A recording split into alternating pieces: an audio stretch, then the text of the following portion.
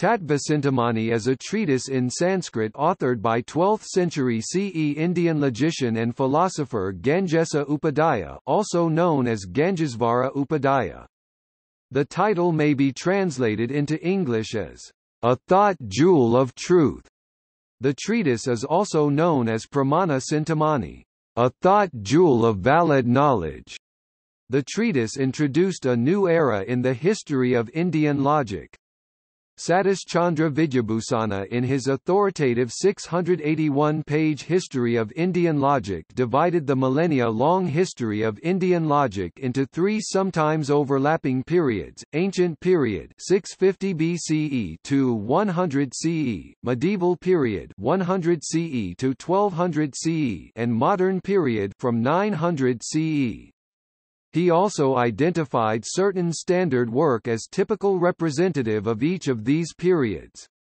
Tattvacintamani of Gangesa is the text identified as the standard work of the modern period in the history of Indian logic, the standard works for the earlier periods being Nyaya Sutra by Aksapada Gautama ancient period and Pramana Samuccaya by Dignaga medieval period. The fact that Tattvacintamani was highly popular is attested by the appearance of a large number of commentaries that have been produced in the centuries that followed the appearance of the book. It has been estimated that while the original text of Tattvacintamani has about 300 pages, all the commentaries put together contain about a million pages.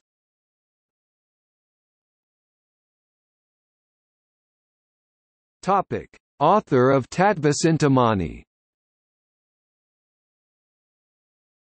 Gangesa Upadhyaya, also known as Gangesvara Upadhyaya, a Maithila Brahmin, who flourished during the 12th century CE, is the author of Tattvacintamani.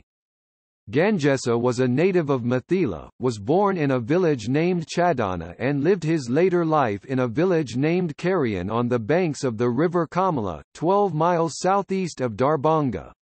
There is a legend to the effect that Gangesa was completely illiterate while he was young and propitiated the goddess Kali on the cremation ground adjacent to his uncle's house, and acquired from her, as a boon, deep erudition in the science of logic. He belonged to Kashyapa Gotra. It is believed that he had several wives, three sons and a daughter. One of his sons was Vardhamana Upadhyaya who was also a pupil of Gangesa. Vardhamana himself became a great scholar of Nyaya and composed a commentary on Tattvacintamani named Tattvacintamani Prakasa and also several other works.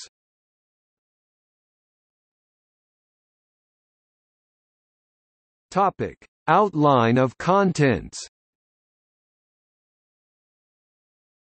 Large sections of the treatise have not yet been translated into English or any other Indian languages. Broadly, Tattva Cintamani is divided into four books dealing respectively with perception pratyaksha, inference anumana, comparison upamana, and verbal testimony sabda. According to Nyaya doctrines, these are the four means for deriving valid knowledge.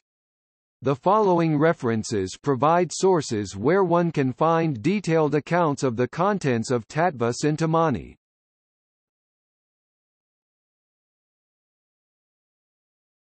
Topic: Commentaries on Tattva Cintamani.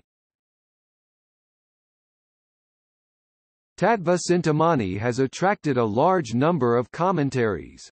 Vardhamana Mahopadhyaya, a son of Gangesa, has himself written a commentary on Tattva Cintamani.